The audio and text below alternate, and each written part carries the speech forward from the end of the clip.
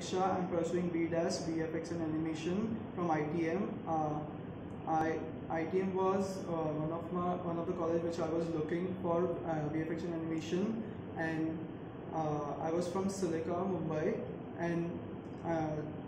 I want to pursue gaming process in VFX and Animation. And here the faculties are very good, and they are helping me to uh, get uh, to, towards my career goals and they are helping me towards uh,